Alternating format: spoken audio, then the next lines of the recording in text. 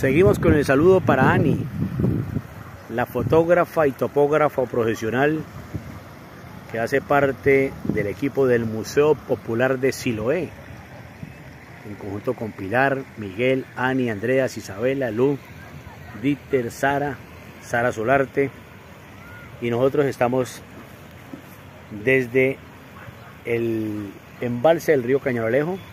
con el río que lleva el mismo nombre, con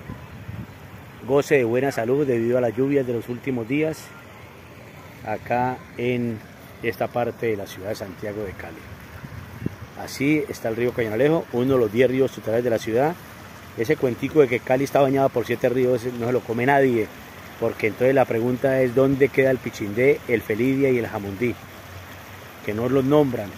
Si nombran el Cauca, debían nombrar el Jamundí, porque el Cauca nunca es Cali, es la frontera entre Cali, Palmira, Calderaria, Yumbo. y esto es una espectacular postal del embalse del río Cañaveralejo con el río que lleva el mismo nombre y al fondo la montaña mágica de Siloé que ya comienza pues a cubrirse con luz artificial porque la luz natural como ustedes lo están viendo ya se va despidiendo de este sábado 21 de octubre de 2023 nada que iluminan la estrella de Siloé se está iluminando manualmente inclusive Ani hizo un video cuando